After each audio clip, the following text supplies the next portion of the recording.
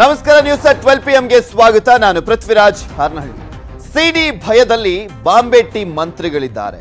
ರಮೇಶ್ ಜಾರಕಿಹೊಳಿ ಅವರ ಸಿಡಿ ಪ್ರಕರಣಕ್ಕೆ ಸಂಬಂಧಪಟ್ಟಂತೆ ಯಾವಾಗ ರಿಲೀಸ್ ಆಯಿತು, ಅದಾದ್ಮೇಲೆ ಇನ್ನಷ್ಟು ಸಚಿವರುಗಳಿಗೆ, ಜನಪ್ರತಿನಿಧಿಗಳಿಗೆ ನಡುಕ ಶುರುವಾಗಿದೆ. ಅದರಲ್ಲೂ ಜಾರಕಿಹೊಳಿ ಅವರ ಜೊತೆ ಬಂದಂತಹ ಸಚಿವರುಗಳಿಗೆ ಈಗ ಒಂದು ರೀತಿಯಾದಂಥ ಭಯ ಸೃಷ್ಟಿಯಾಗಿರುವಂಥದ್ದು ಕೋರ್ಟ್ ಮೊರೆ ಹೋಗಿದ್ದಾರೆ. ತಡೆ ನೀಡಿ ಅಂತ ಕೋರ್ಟ್ಗೆ ಅರ್ಜಿಯನ್ನು ಹಾಕಿದ್ದಾರೆ. ಮಂತ್ರಿಗಳಿಂದ ಹಂತ ಹಂತವಾಗಿ ಕೋರ್ಟ್ ಮೊರೆ ಹೋಗಲಾಗ್ತಾ ಇದೆ. ಮೈತ್ರಿ ಸರ್ಕಾರ ಬೀಳಿಸಿದ್ದಕ್ಕೆ ಟಾರ್ಗೆಟ್ ಆಗಿದ್ದೀವಿ ನಾವು. ತಪ್ಪು ಮಾಡಿಲ್ಲದಿದ್ರೂ ಕೂಡ ಗ್ರಾಫಿಕ್ಸ್ ಮಾಡ್ತಾರೆ. ನಮ್ಮ ಮುಖವನ್ನು ಬೇಕಿದ್ರೆ ಜೋಡಿಸುವಂತ ಸಾಧ್ಯತೆ ಇರುತ್ತೆ. ಸೊ ಅದರದ್ದೇ ಒಂದು ಸಿಡಿಯನ್ನು ಮಾಡಿಬಿಡ್ತಾರೆ. ಕೋರ್ಟ್ ಮೆಟ್ಟಿಲಿರ್ಲಿಕ್ಕೆ ಮತ್ತೆ ಆರು ಸಚಿವರು ರೆಡಿ ಇದ್ದಾರಂತೆ. ಅವ್ರು ಕೊಡ್ತಾ ಇರುವಂತ ರೀಸನ್ಸ್ ಇದು. ಯಾವ ಕಾರಣಕ್ಕೋಸ್ಕರ ನಾವು ಕೋರ್ಟ್ ಮೆಟ್ಟಿಲೇರ್ತಾ ಇದ್ದೇವೆ ಅಂತ. ಇದು ರಾಜಕೀಯ ಪಿತೂರಿ, ರಾಜಕೀಯ ಷಡ್ಯಂತ್ರಗಳು ವಿಶೇಷವಾಗಿ ನಡೀತಾ ಇದೆ, ಆರಂಭ ಆಗಿದೆ. ಒಂದು ವ್ಯಕ್ತಿ ಜನಪ್ರಿಯತೆಯನ್ನ ಹಾಳು ಮಾಡುವಂಥದ್ದು, ವ್ಯಕ್ತಿಯ ಚಾರಿತ್ರ್ಯ ವಧೆ ಮಾಡುವಂಥದ್ದು, ತೇಜೋವಧೆ ಮಾಡುವಂಥದ್ದು, ಇದು ಹೊಸ ಒಂದು ಸಂಸ್ಕೃತಿ ಆಗಿದೆ. ಅಂತಿಮವಾಗಿ ಕಾನೂನು ಮೂಲಕನೂ ಇದಕ್ಕೆ ಒಂದು ಬಲವಾದ ಕಾನೂನು ತರಬೇಕು ಅಂತ ಹೇಳಿ ಕೂಡ ನಮ್ಮ ಸರ್ಕಾರ ವಿಚಾರ ಮಾಡ್ತಾ ಇದೆ. ಮತ್ತೆ ಚುನಾವಣೆಯನ್ನು ಎದುರಿಸಿ ಬಿಜೆಪಿ ಪಕ್ಷ ಸೇರಿ ಮಂತ್ರಿಗಳಾಗಿದ್ದೇವೆ. ಅವರೆಲ್ಲರನ್ನ ಟಾರ್ಗೆಟ್ ಮಾಡ್ತಾ ಇದ್ದೇವೆ ಅಂತಕ್ಕಂಥದ್ದನ್ನ ಮಾಹಿತಿಯನ್ನ ಅಸೆಂಬ್ಲಿಲಿ ನಮಗೆ ಅನೇಕ ಹಳೆ ಮಿತ್ರರು ಮಾಹಿತಿಯನ್ನ ಕೊಟ್ಟಿದ್ದಾರೆ. ಸುಳ್ಳು ಎಲ್ಲ ಕ್ರಿಯೇಟ್ ಮಾಡ್ತಕ್ಕಂಥದ್ದು ಆ ಮೂಮೆಂಟಲ್ಲಿ ನಿಮಗೆ ತೇಜೋವಧೆ ಮಾಡಿ ರಾಜೀನಾಮೆಯನ್ನು ಕೊಡಿಸ್ಬೇಕು ಅಂತಕ್ಕಂಥದ್ದನ್ನ ಮಾಡ್ತಿದ್ದಾರೆ, ಸಭೆಗಳು ಕೂಡ ಆಗಿದೆ ಅಂತಕ್ಕಂಥ ಖಚಿತ ಮಾಹಿತಿ ಮೇರೆಗೆ ನಾವು ಎಲ್ಲ ಹದಿನೈದು ಜನ, ಹದಿನಾರು ಜನ ಏನು ಬಂದಿದ್ದೀವಿ, ಅವರೆಲ್ಲರೂ ಕೂಡ ಕೋರ್ಟ್ಗೆ ಮೊರೆ ಹೋಗಿದ್ದೀವಿ ಇದು ಯಾವುದು ಏನು ಬೇಗ ಗ್ರಾಫಿಕ್ಸ್ ಮಾಡ್ಬೋದು? ಏನು ಬೇಗ ಮಾಡ್ಬೋದು? ಆ ನಿಟ್ಟಲ್ಲಿ ಇವತ್ತು ವಿರೋಧಿಗಳು ಏನೇನಿದ್ದಾರೆ ಇವರು ಎಲ್ಲೋ ಒಂದು ಕಡೆ ನಾವು ಕಾಂಗ್ರೆಸ್ ಪಕ್ಷ ಅಂತವ್ರದ್ದು ಜನತಾ ಪಕ್ಷದಲ್ಲಿ ಸೇರಿಸಿ ಇಷ್ಟೊಂದು ವೇಗವಾಗಿ ಸಚಿವರಾಗಿ ಕೆಲಸಗಳನ್ನು ಮಾಡ್ತಾ ಇದ್ದಾರೆ ನಮ್ಮ ಸಂದರ್ಭದಲ್ಲಿ ಈ ವೇಗವನ್ನು ತಡೆ ಮಾಡುವಂಥ ಕೆಲಸ ಆಗಬೇಕು ಅನ್ನೋ ಒಂದು ನಿಟ್ಟಿನಲ್ಲಿ ಎಲ್ಲೋ ಒಂದು ನಡೆಯುತ್ತದೆ. ಕೆಲ ಸಚಿವರು ಕೋರ್ಟ್ಗೆ ಹೋದಂತ ವಿಚಾರಕ್ಕೆ ಸಂಬಂಧಪಟ್ಟಂತೆ ಕೇಂದ್ರ ಸಚಿವರಾಗಿರುವಂತ ಸದಾನಂದ ಗೌಡ ಪ್ರತಿಕ್ರಿಯೆಯನ್ನು ಕೊಟ್ಟಿದ್ದಾರೆ. ಕೋರ್ಟ್ಗೆ ಹೋಗಿರುವಂಥದ್ದು ಅವರ ವೈಯಕ್ತಿಕ ವಿಚಾರ. ಅನಾವಶ್ಯಕವಾಗಿ ಕೋರ್ಟ್ಗೆ ಹೋಗಬಾರ್ದು, ವಿಚಾರವನ್ನ ಗೋಚರು ಮಾಡಬಾರ್ದು, ಅದು ಮಾಡುವಂಥದ್ದು ಸರಿಯಲ್ಲ. ಸಚಿವರ ಬಗ್ಗೆ ಡಿವಿಎಸ್ ಪರೋಕ್ಷವಾಗಿ ಅಸಮಾಧಾನವನ್ನು ಕೂಡ ವ್ಯಕ್ತಪಡಿಸಿದ್ದಾರೆ.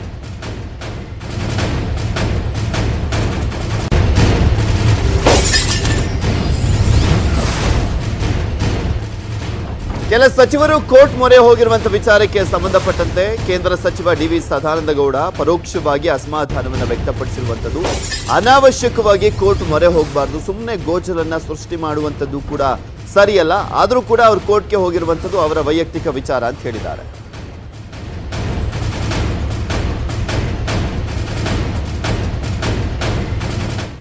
ಇನ್ನು ಸಿಡಿ ಪ್ರಕರಣಕ್ಕೆ ಬೆಚ್ಚಿ ಆರು ಸಚಿವರಿಂದ ಕೋರ್ಟ್ ಮೊರೆ ಹೋಗಲಾಗಿದೆ. ಸಚಿವರ ನಡೆ ಬಗ್ಗೆ ಮಾಹಿತಿಯನ್ನ ಸಂಗ್ರಹಿಸಿದೆ ಹೈಕಮಾಂಡ್. ಲಿಂಬಾವಳಿ ಬಳಿ ಮಾಹಿತಿಯನ್ನ ಸಂಗ್ರಹಿಸಿದ್ದಾರಂತೆ ಜೆ ಪಿ ನಡ್ಡಾ ಅವರು. ಅದು ಯಾರ ಬಳಿಯಿಂದ ಮಾಹಿತಿಯನ್ನ ಸಂಗ್ರಹಿಸಿರುವಂತದ್ದು ಅರವಿಂದ ಲಿಂಬಾವಳಿ ಅವರು, ಅರಣ್ಯ ಸಚಿವರು ಅವರ ಬಳಿಯಿಂದ ಮಾಹಿತಿಯನ್ನ ಸಂಗ್ರಹಿಸಿದ್ದಾರಂತೆ. ಬಿಜೆಪಿಯ ರಾಷ್ಟ್ರೀಯ ಅಧ್ಯಕ್ಷರಾಗಿರುವಂತ ಜೆ ಪಿ ನಡ್ಡಾ ಅವರು ಅರವಿಂದ ಲಿಂಬಾವಳಿ ಅವರ ಬಳಿಯಿಂದ ಮಾಹಿತಿಯನ್ನ ಸಂಗ್ರಹ ಮಾಡಿದ್ದಾರಂತೆ. ಇನ್ನು ಪಶ್ಚಿಮ ಬಂಗಾಳ ಚುನಾವಣೆ ಹಿನ್ನೆಲೆಯಲ್ಲಿ ದೆಹಲಿಯಲ್ಲಿದ್ದಾರೆ ಅರವಿಂದ ಲಿಂಬಾವಳಿ ಅವರು. ಅವರಿಗೆ ಆ ಒಂದು ರಾಜ್ಯದ ಉಸ್ತುವಾರಿಯನ್ನ ಕೊಡುವಂತ ಸಾಧ್ಯತೆ ಇರುವಂತದ್ದು. ಇನ್ನು ಒಂದ್ ಕಡೆ ಆರು ಸಚಿವರು ಕೋರ್ಟ್ ಮೊರೆ ಹೋಗಿದ್ದಾರಲ್ಲ. ಸೊ ಆ ಒಂದು ಕೋರ್ಟ್ ಮೊರೆ ಹೋಗಿರುವಂತ ಹಿನ್ನೆಲೆಯಲ್ಲಿ ಅದರ ಬಗ್ಗೆ ಮಾಹಿತಿಯನ್ನ ಕಲೆಕ್ಟ್ ಮಾಡಿದ್ದಾರೆ ಮಾನ್ಯ ಅರಣ್ಯ ಸಚಿವರಾಗಿರುವಂತ ಅರವಿಂದ ಲಿಂಬಾವಳಿ ಅವರಿಂದ. ಅದು ಜೆ ಪಿ ನಡ್ಡಾ ಅವರು ಮಾಹಿತಿಯನ್ನ ಸಂಗ್ರಹ ಮಾಡಿದ್ದಾರೆ ಅನ್ನುವಂಥ ಮಾಹಿತಿ ಇದೆ.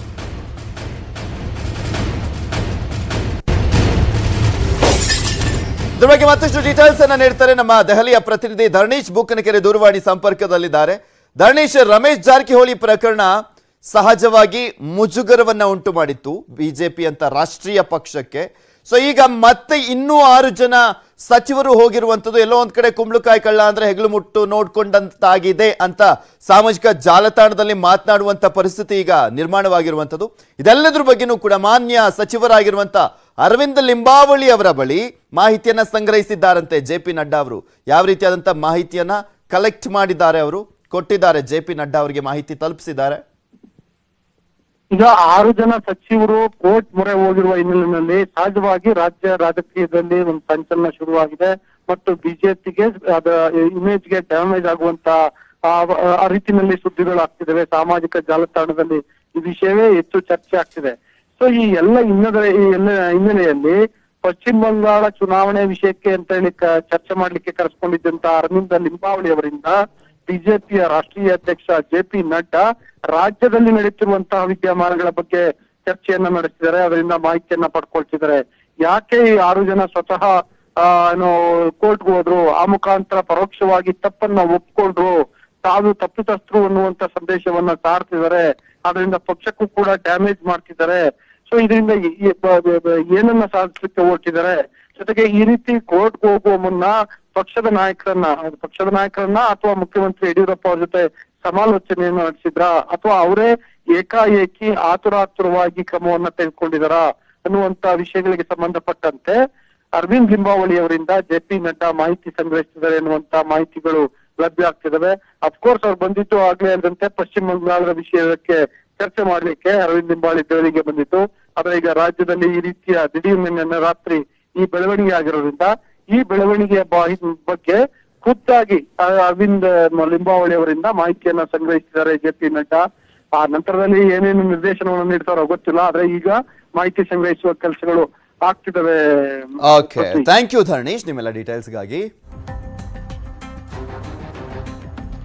ಒಂದ್ ಕಡೆ ಜಾರಕಿಹೊಳಿ ಅವರ ಸಿಡಿ ಪ್ರಕರಣಕ್ಕೆ ಸಂಬಂಧಪಟ್ಟಂತೆ ಅವರೇ ಆ ಒಂದು ಪ್ರಕರಣಕ್ಕೆ ಸಂಬಂಧಪಟ್ಟಂತೆ ನೈತಿಕ ಹೊಣೆಯನ್ನ ಹೊತ್ತಿ ರಾಜೀನಾಮೆಯನ್ನ ಕೊಟ್ರು. ಆದ್ರೆ ಅವರ ಬೆಂಬಲಿಗರು ಮಾತ್ರ ಸುಮ್ಮನಾಗ್ತಾ ಇಲ್ಲ ನೋಡಿ. ಬೆಳಗಾವಿಯ ಗೋಕಾಕ್ನಲ್ಲಿ ರಮೇಶ್ ಜಾರಕಿಹೊಳಿ ಬೆಂಬಲಿಗರಿಂದ ಗೂಂಡಾಗಿರಿಯನ್ನ ಮಾಡಲಾಗ್ತಾ ಇದೆ. ಆ ಗೂಂಡಾಗಿರಿ ಜಾಸ್ತಿ ಆಗ್ತಾ ಇದೆ. ಯರಗಟ್ಟಿ ರಾಜ್ಯ ಹೆದ್ದಾರಿ ತಡೆದು ಪ್ರತಿಭಟನೆಯನ್ನ ನಡೆಸ್ತಾ ಇದ್ದಾರೆ. ರಸ್ತೆ ತಡೆ ನೆಪದಲ್ಲಿ ವಾಹನ ಸವಾರರ ಮೇಲೆ ಹಲ್ಲೆಯನ್ನ ಮಾಡ್ಲಿಕ್ಕೂ ಕೂಡ ಯತ್ನಿಸಿದ್ದಾರೆ. ಮಮದಾಪುರ ಕ್ರಾಸ್ನಲ್ಲೂ ಕೂಡ ಬೆಂಬಲಿಗರು ಪುಂಡಾಟವನ್ನ ಮೆರೆದಿರುವಂತದ್ದು ಪೊಲೀಸರು ಏನು ಮಾಡ್ತಾ ಇದಾರಪ್ಪ ಗೊತ್ತಿಲ್ಲ. ಇಷ್ಟೆಲ್ಲ ಆಗ್ತಾ ಇದ್ರು. ಒದ್ ಒಳಕ್ ಹಾಕ್ಬೇಕು. ಯಾವನಾದ್ರೂ ಆಗಿರ್ಲಿ ಅವನು. ಯಾರ್ ಬೆಂಬಲಿಗನಾದ್ರೂ ಆಗಿರಲಿ. ಸಾರ್ವಜನಿಕರಿಗೆ ಈ ರೀತಿಯಾಗಿ ತೊಂದರೆ ಕೊಡುವಂಥವ್ರನ್ನ ಸುಮ್ಮನೆ ಬಿಡ್ತಾ ಇದ್ದಾರಾ? ಇದು ಕೂಡ ಸಹಜವಾಗಿ ಎದ್ದೇಳುವಂಥ ಪ್ರಶ್ನೆ. ಅವ್ರು ಏನಾದರೂ ಮಾಡ್ಕೊಳ್ಳಿ. ಪ್ರತಿಭಟನೆ ಮಾಡೋದಕ್ಕೆ ಯಾರು ಕೂಡ ಏನು ಬೇಡ ಅಂತ ಹೇಳ್ತಾ ಇಲ್ಲ. ಬಟ್ ಬೇರೆಯವ್ರಿಗೆ ಯಾಕೆ ತೊಂದರೆಯನ್ನ ಕೊಡಬೇಕು? ಬಲವಂತವಾಗಿ ಈ ರೀತಿಯಾಗಿ ಪ್ರತಿಭಟನೆ ಮಾಡ್ತಾ ದಾಂಧಲೆಯನ್ನ ಮಾಡುವಂಥದ್ದು ಒಂದ್ ರೀತಿಯಾಗಿ ಮತ್ತೊಂದು ರೀತಿಯಾಗಿ ಅವ್ರಿಗೆ ಮಸಿ ಬಳಿಯುವಂಥ ಕೆಲಸವನ್ನು ಕೂಡ ಮಾಡ್ತಾ ಇದ್ದಾರೆ ಅವರ ಬೆಂಬಲಿಗರು. ಇನ್ನ ಪೊಲೀಸರು ಮಧ್ಯಪ್ರವೇಶದಿಂದ ಕಾರ್ನಲ್ಲಿದ್ದಂತ ಜನ ಬಚಾವಾಗಿದ್ದಾರೆ. ಇಲ್ಲ ಅಂದಿದ್ರೆ ಅದೇನೇನ್ ಮಾಡ್ತಾ ಇದ್ರು ಇವರು?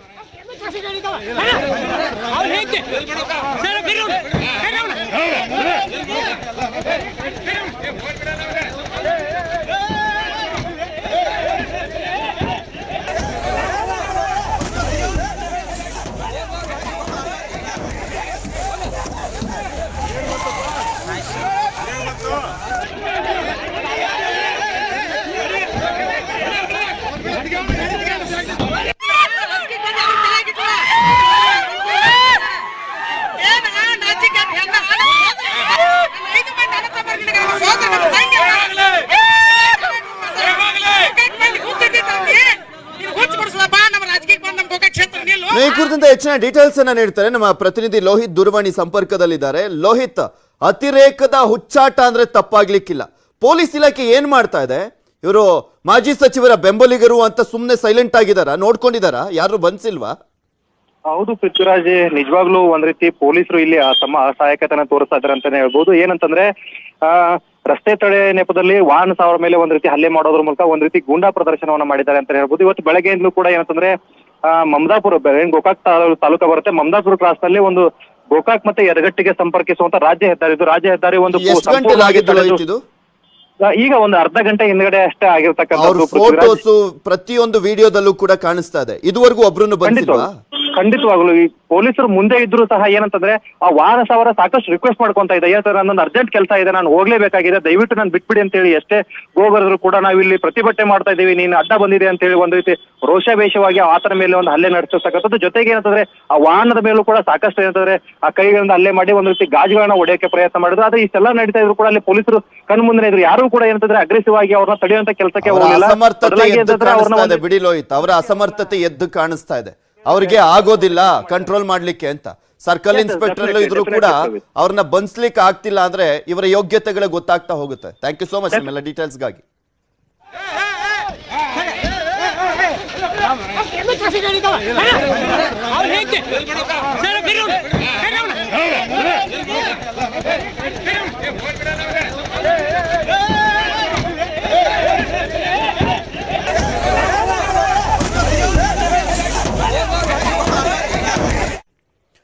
ಇವರು ನೋಡ್ಲಿಕ್ಕೆ ಚಿಕ್ಕವರು, ಆದ್ರೆ ಇವರ ಸಾಧನೆ ಮಾತ್ರ ದೊಡ್ಡದು. ಈ ಚಿಣ್ಣರ ಸಾಧನೆಗೆ ವೇದಿಕೆಯನ್ನ ಕಲ್ಪಿಸ್ತಾ ಇದೆ ನಿಮ್ಮ ನ್ಯೂಸ್ ಐಟಿನ ಬೈಜೂಸ್ ಯಂಗ್ ಜೀನಿಯಸ್ ಕಾರ್ಯಕ್ರಮ. ಇದೇ ಶನಿವಾರ, ಅಂದ್ರೆ ಇವತ್ತು ರೋಬೋಟಿಕ್ಸ್ ಎಕ್ಸ್ಪರ್ಟ್ ಆಗಿರುವಂತ ಶೌರ್ಯ ಭಾಗಿಯಾಗ್ತಿದ್ದಾರೆ. ಈತನಿಗೆ ಕೇವಲ ಹದಿನಾಲ್ಕು ವರ್ಷ, ಆದರೆ ಸಾಧನೆ ಮಾತ್ರ ಅತ್ಯದ್ಭುತ. ಈತನ ಸಾಧನೆಯ ಜಲಕ್ ಇಲ್ಲಿದೆ ನೋಡಿ. ನಾನು ಶೌರ್ಯ ಬಸೀನ್, ನನ್ನ ವಯಸ್ಸು ಹದಿನಾಲ್ಕು. ನಾನೊಬ್ಬ ಇನೋವೇಟರ್ ಹೊಸ್ತು ಮಾಡೋದು ಇಷ್ಟ. ಇವನು ಯಂಗ್ ಜೀನಿಯಸ್ ರೋಬೋಟ್ ಮುಖಾಂತರ ಜನರಲ್ಲಿ ಖುಷಿಯನ್ನ ಹಂಚುವುದು ಇವನ ಆಸೆ. ಇವನು ಯಂಗ್ ಜೀನಿಯಸ್ ಇವನ ಟೀಮ್ ವರ್ಲ್ಡ್ ರೋಬೋಟಿಕ್ಸ್ ಒಲಿಂಪಿಯಾಡ್ ಗೆದ್ದು ಹೆಸರುವಾಸಿಯಾಗಿದೆ.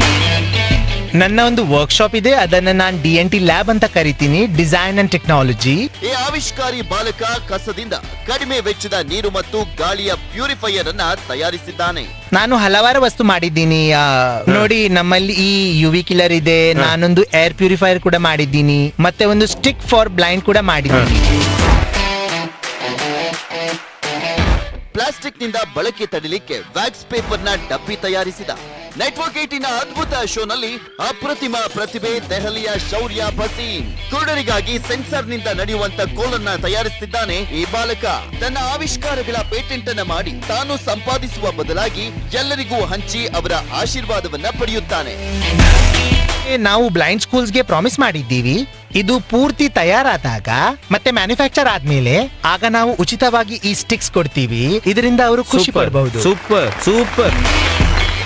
ಬರ್ತಿದ್ದಾನೆ ಈ ಯಂಗ್ ಜೀನಿಯಸ್ ಇದೇ ಶನಿವಾರ ರಾತ್ರಿ ಎಂಟು ಗಂಟೆಗೆ.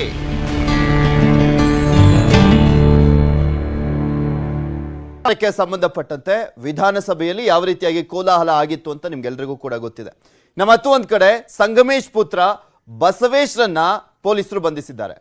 ಸಂಗಮೇಶ್ ಪುತ್ರ ಬಸವೇಶ್ ಸಂಗಮೇಶ್ ಅವರನ್ನ ಭದ್ರಾವತಿ ಪೊಲೀಸರು ಬಂಧಿಸಿರುವಂತದ್ದು.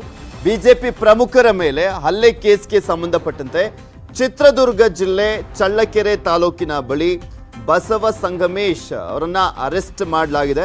ಫೆಬ್ರವರಿ ಇಪ್ಪತ್ತೆಂಟರ ರಾತ್ರಿ ಕಬಡ್ಡಿ ಪಂದ್ಯದ ವೇಳೆ ಬಿಜೆಪಿಯ ಪ್ರಮುಖರ ಮೇಲೆ ಹಲ್ಲೆಯನ್ನ ನಡೆಸಲಾಗಿದೆ ಎಂಬ ಆರೋಪ ಕೇಳಿ ಬಂದಂತ ಹಿನ್ನೆಲೆಯಲ್ಲಿ ಭದ್ರಾವತಿ ಪೊಲೀಸರು IPC section three nought seven case ಅನ್ನ ದಾಖಲಿಸಿದ್ರು. ಆ ಒಂದು ದೃಶ್ಯಾವಳಿಗಳ ಆಧಾರದ ಮೇಲೆ ಈ ಒಂದು ಪ್ರಕರಣವನ್ನ ದಾಖಲಿಸಿಕೊಳ್ಳಲಾಗಿತ್ತು. ಈ ಒಂದು ವಿಚಾರಕ್ಕೆ ಸಂಬಂಧಪಟ್ಟಂತೆಯೇ ಸಂಗಮೇಶ್ ಅವರು ವಿಧಾನಸಭೆಯಲ್ಲಿ ಶರ್ಟ್ ಅನ್ನ ಬಿಚ್ಚಿ ಮಾತನಾಡಿದ್ರು. ಅದಾದ್ಮೇಲೆ ಅವ್ರನ್ನ ಅಮಾನತು ಮಾಡಲಾಗಿತ್ತು. ಅದಾದ್ಮೇಲೆ ಕಾಂಗ್ರೆಸ್ ಪಕ್ಷದವರು ಅವರ ಬೆಂಬಲಕ್ಕೆ ನಿಂತು ಅವರ ಅಮಾನತನ್ನು ವಾಪಸ್ ಪಡಿಬೇಕು ಅಂತೆಲ್ಲ ದೊಡ್ಡ ರಾಧಾಂತ ಆಗಿದ್ದು, ಈಗ ಫೈನಲಿ ಸಂಗಮೇಶ್ ಅವರ ಪುತ್ರನನ್ನು ಬಂಧಿಸಲಾಗಿದೆ. ಬೆಂಗಳೂರಲ್ಲಿ ಮತ್ತೊಂದು ಐಷಾರಾಮಿ ಕಾರು ದುರಂತವಾಗಿದೆ. ಕಾವೇರಿ ಜಂಕ್ಷನ್ ಅಂಡರ್ ಪಾಸ್ನಲ್ಲಿ ತಡರಾತ್ರಿ ಅತಿ ವೇಗದ ಚಾಲನೆ ಮಾಡಿ ಬೈಕ್ ಸವಾರನಿಗೆ ಅಡ್ಡಿ ಆಗಿದ್ದಂತಹ ಒಂದು ಕಾರು ಸವಾರನಿಗೆ ಆಡಿ ಕಾರು ಡಿಕ್ಕಿ ಆಗಿರುವಂಥದ್ದು. ಡಿಕ್ಕಿ ಹೊಡೆದಂಥ ರಭಸಕ್ಕೆ ಬೈಕ್ ನಜ್ಜುಗುಜ್ಜಾಗಿದೆ. ಬೈಕ್ ಸವಾರ ಶಿವಕುಮಾರ್ ಎಂಬಾತ ಗಂಭೀರವಾಗಿ ಗಾಯವಾಗಿದ್ದು, ಖಾಸಗಿ ಆಸ್ಪತ್ರೆಗೆ ದಾಖಲಿಸಲಾಗಿದೆ. ಸಾಫ್ಟ್ವೇರ್ ಉದ್ಯೋಗಿ ಅಕ್ಷಯ್ ಕುಮಾರ್ ಎಂಬಾತ ಅಪಘಾತವನ್ನ ಮಾಡಿದ್ದು. ಹೈಗ್ರೌಂಡ್ ಸಂಚಾರಿ ಠಾಣೆಯಲ್ಲಿ ಪ್ರಕರಣ ದಾಖಲಾಗಿದೆ.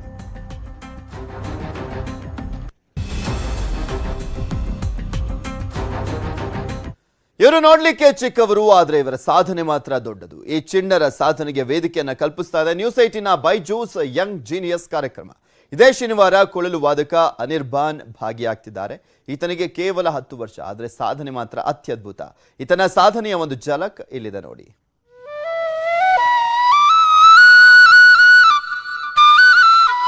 ನನ್ನ ಹೆಸರು ಅನಿರ್ಬಾನ್ ರಾಯ್. ನಾನು ಕ್ಲಾಸ್ ಫೈವ್ನಲ್ಲಿ ಓದ್ತಿದ್ದೀನಿ. ನನಗೆ ಹತ್ತು ವರ್ಷ ವಯಸ್ಸು, ಮತ್ತೆ ನಾನೊಬ್ಬ ಫ್ಲೂಟ್ ವಾದಕ. ಯಂಗ್ ಜೀನಿಯರ್ಸ್ ದಿನವಿಡೀ ಕೊಳಲೆ ಇವನ ಸಂಗಾತಿ.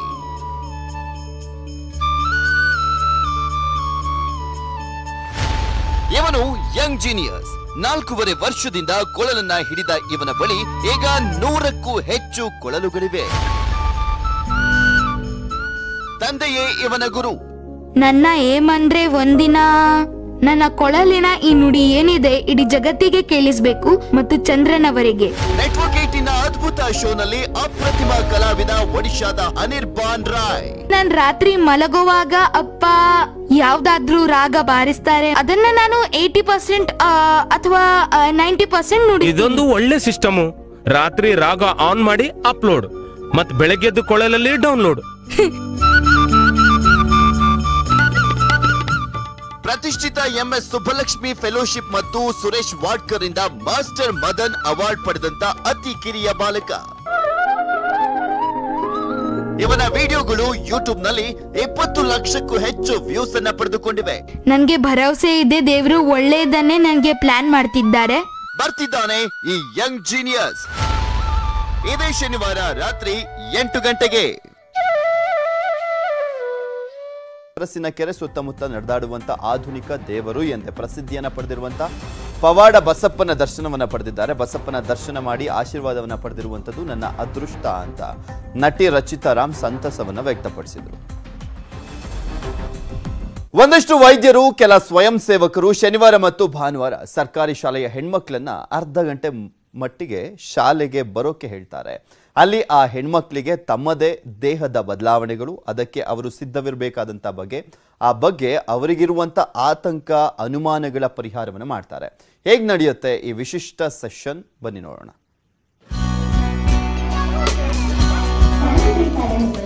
ಬೆಂಗಳೂರಿನ ಕಮನಹಳ್ಳಿಯ ಸರ್ಕಾರಿ ಶಾಲೆ ಇದು. ಹದಿಹರೆಯದ ವಯಸ್ಸಿನಲ್ಲಿ ಸಂಕಷ್ಟ ಅನಿಸುವ ಋತುಚಕ್ರ.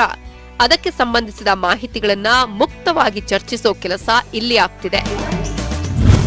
ಹೊಟ್ಟೆ ರೋಗನ ನೀನೇನ್ ಮಾಡ್ತಿದ್ಯಾ ಸದ್ಯಕ್ಕೆ ಸದ್ಯಕ್ಕೆ ಏನು ಮಾಡಲ್ಲ ನಿಂದು ಮಸಲ್ಸ್ ಎಲ್ಲಾನು ಇವಾಗ ಟೈಟ್ ಇದ್ರೆ ಲೂಸ್ ಆಗುತ್ತೆ ಫ್ಲೆಕ್ಸಿಬಲ್ ಆಗುತ್ತೆ ಪೇನು ಕಮ್ಮಿ ಆಗುತ್ತೆ okay Another thing is hot water bag take a hot water bag put it on your abdomen and sleep. Okay being social ಅನ್ನುವ ಸ್ವಯಂ ಸೇವಾ ಸಂಸ್ಥೆ ಈ ಸಾಮಾಜಿಕ ಕಳಕಳಿಯ ಕೆಲಸ ಮಾಡ್ತಿದೆ. ದಾನಿಗಳ ಸಹಾಯದಿಂದ ಇವರಿಗೆಲ್ಲ ನಿಯಮಿತವಾಗಿ ಸ್ಯಾನಿಟರಿ ಪ್ಯಾಡ್ಗಳನ್ನ ನೀಡ್ತಾ ಇದೆ. We talk about menstrual cycle, mainly cleanliness and hygiene. The common questions, what are you know any doubts they have, we clear that. And the biggest challenge, as I said, is shyness and hesitation. Most common question mood swing ಆಗುತ್ತೆ ಇದರಿಂದ ಆಮೇಲಿಂದ ಇದು white discharge ಆಮೇಲಿಂದ bleeding blood discharge ಎರಡೂ ಒಂದೇನಾ ಅದು ಅದೇನೇ ಅವ್ರಿಗೆ ಕಾಮನ್ ಆಗಿರೋ ಡೌಟು ವಿಡಿಯೋಗಳ ಮೂಲಕ ಒಂದಷ್ಟು ಬೇಸಿಕ್ ಮಾಹಿತಿ ನೀಡಿ ನಂತರ ಸಂವಾದ ನಡೆಸ್ತಾರೆ ತುಂಬಾನೇ ಕಲ್ತ್ಕೊಂಡ್ರಿ. ಮತ್ತೆ ಈ ನಮ್ ನಮ್ ಹುಡುಗಿರ್ಗೋಸ್ಕರ ಒಳ್ಳೇದೇ ಹೇಳಿದ್ರು. ಮತ್ತೆ ನಮ್ಗೆ ನಮ್ ಲೈಫಲ್ಲಿ ನಮ್ಗೆ ಏನಾಗುತ್ತೆ ಅಂತ ಎಕ್ಸ್ಪ್ಲೇನ್ ಮಾಡಿ ಹೇಳಿದ್ರು. ನಮಗೆ ಇವತ್ತು ಬೀಂಗ್ ಇಂದ ಮೆನ್ಸುಲೇಷನ್ ಬಗ್ಗೆ ಹೇಳ್ಕೊಡಕ್ ಬಂದಿದ್ರು. ಅಂದ್ರೆ ನಮಗೆ ಹೆಂಗೆ ಪ್ಯಾಡ್ನ ಯೂಸ್ ಮಾಡಬೇಕು ಯಾವ ಥರ ಫೋನ್ ಮಾಡ್ಬಿಟ್ಟು ಅಂದ್ರೆ ಫುಲ್ ಮಿಕ್ಸಪ್ ಆಗ್ತಾ ಇತ್ತು ಮೆಡಿಕಲ್ ಡ್ರೈ ಆ ಥರ ಮಾಡೋದು ಹೇಳ್ಕೊಟ್ರು. ಈಗಾಗಲೇ ನೂರಾರು ಶಾಲೆಗಳ ಹೆಣ್ಮಕ್ಕಳಿಗೆ ಆರೋಗ್ಯದ ಮಾಹಿತಿ ಕೊಟ್ಟಿರೋ ಈ ತಂಡ ಈ ಮಕ್ಕಳ ನೋವಿನ ದಿನಗಳನ್ನ ಒಂದಷ್ಟು ನಿರಾಳವಾಗಿಸಿದೆ ಎನ್ನಬಹುದು. Soumya Kalasa metro bureau news eighteen Kannada